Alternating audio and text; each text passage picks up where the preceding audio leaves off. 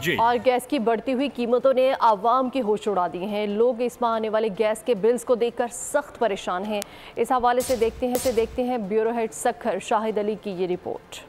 मुल्क की आवाम किस किस को रोए? बिजली के यूनिट्स तो महँगे थे ही। अब गैस के नरखों में इजाफे की बुरी खबर भी आ गई। गैस के महाना बिलों ने घरेलू सार्फिन के होश उड़ा दिए। अब ये गैस का इतना महँगा बिल कौन भरेगा?